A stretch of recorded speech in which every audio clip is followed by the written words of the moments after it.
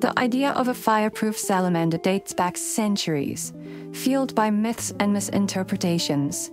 Like Aristotle, professing that these amphibians not only endure fire, but can extinguish it, and Leonardo da Vinci claiming that salamanders sustain themselves solely on fire, using the heat to routinely shed and regenerate their skin. Makes for epic tales, but the reality is less flashy.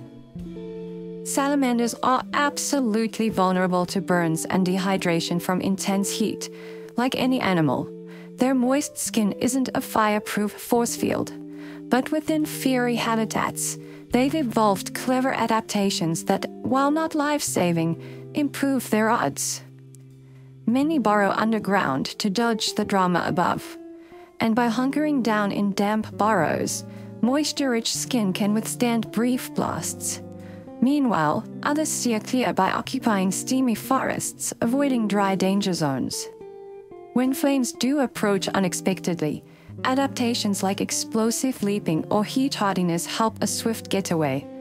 But make no mistake, this is borrowing time, not immunity.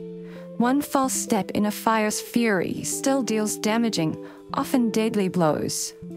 In truth, smoldering logs likely fueled ancient myths.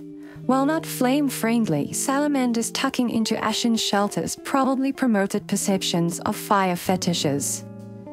So shaped notions of invincibility. Their legendary status shouldn't eclipse how massively wildfires threaten amphibian and habitat health. Still, give these crafty survivors credit for resourcefulness amid catastrophe.